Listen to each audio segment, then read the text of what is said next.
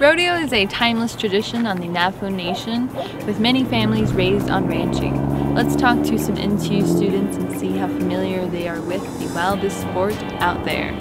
Saddle up, partner!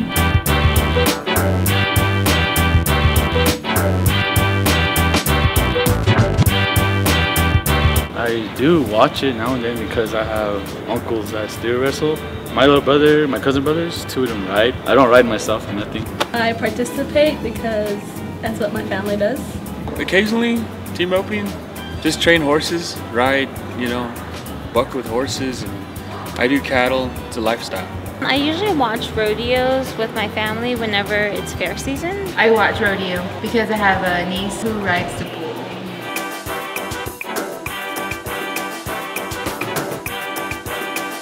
Team roping and we breakaway.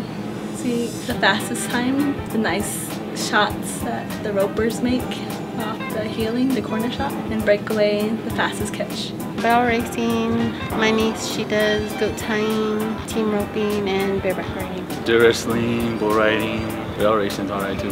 Calf roping, team roping, steer wrestling. Like watching the barrel races, roping I guess, those would be the two.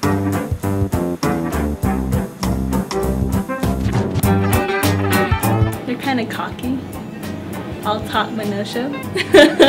like um, always wearing like um, the, those bull riding hats and then um, wearing vests I would say, wearing the cowboy boots and the cowboy jeans I would say.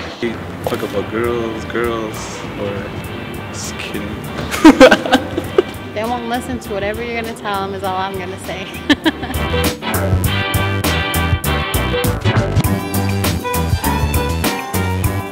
pretty. They have like the fastest horse. Most of them are all, they're all cute. Just kidding. It's never good enough no matter how fast you go.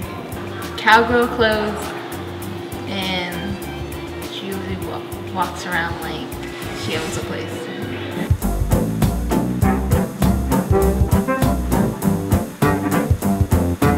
Not sure about the ropers. yeah, I'm not sure about them. I know they use a rope and horse and cows. All I can think about is very expensive equipment. Same thing as a cowboy, I guess, but with the rope. She's They probably all look the same, like the cowboy hats and like the cowboy boots. And always going to boot barn and stuff like that.